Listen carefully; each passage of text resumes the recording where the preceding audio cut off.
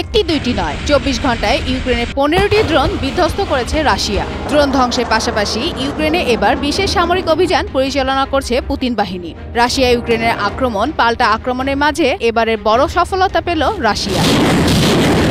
জানা যায় ইউক্রেনের আর্টিয়ম ভস্কো অঞ্চলে বিশেষ এই অভিযান পরিচালনা করে রাশিয়ান বাহিনী।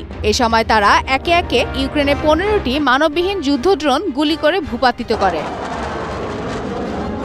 পঁচিশে এপ্রিল রাশিয়ার প্রতিরক্ষা মন্ত্রণালয়ের মুখপাত্র, লেফটেন্যান্ট জেনারেল ইগোর কোনোসেনকভ জানায়, গত চব্বিশ ঘন্টায় রাশিয়ান বিমান প্রতিরক্ষা বাহিনী খার্কভ অঞ্চলের নেজদানভোকা লুগানাস পিপলস রিপাবলিকের কুজেমোভোকা টোপোলি এবং লিসিচাং ভ্যাসিলিভোকা কিরোলোভোকা এবং ডন টর্সকই শহরের জনবসতিগুলোর কাছাকাছি এলাকায় পনেরোটি ইউক্রেনীয় মানববিহীন যুদ্ধ ড্রোনকে ধ্বংস করেছে।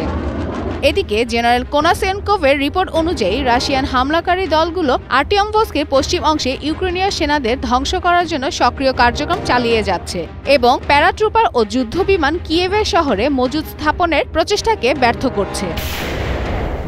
জেনারেল আরও জানায়, ডোনেটক্স পিপলস রিপাবলিকের বোগদান ভোকা, ক্রাসনি এবং তুপচকির বসতির কাছেও যুদ্ধগ্রুপে আর্টিলারি ইউক্রেনের সেনাঘাটিতে হামলা করা হয়, যেখানে এলাকাটি উপর দিয়ে নয়টি বিমান উড়ে যায় এবং প্রায় বাষট্টিটি গুলিবর্ষণ করা হয়।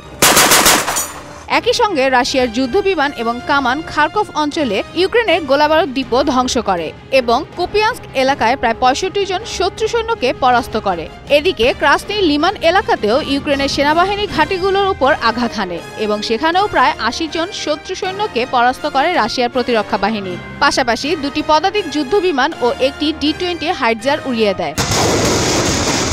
এছাড়াও কোনাসেনকোভ রিপোর্টে আরও বলেন, রাশিয়ান বাহিনী খেরসন এলাকায় বিশ জন ইউক্রেনীয় সৈন্য এবং একটি মার্কিন তৈরি এম ট্রিপল সেভেন হাইডজার ধ্বংস করে দেয়।